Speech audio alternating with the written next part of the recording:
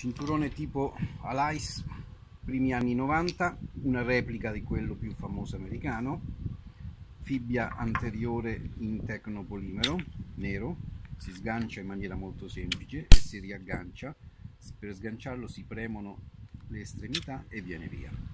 La regolazione è facilissima si sgancia questo passante metallico si solleva la leva si sbottona l'automatico di fermo e si fa scorrere fino alla lunghezza desiderata.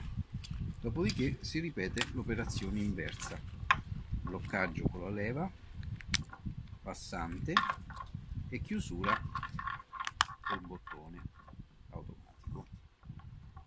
I fori presenti tutto il cinturone servono per agganciare taschine e materiali vari. Realizzato in ottima cordura molto resistente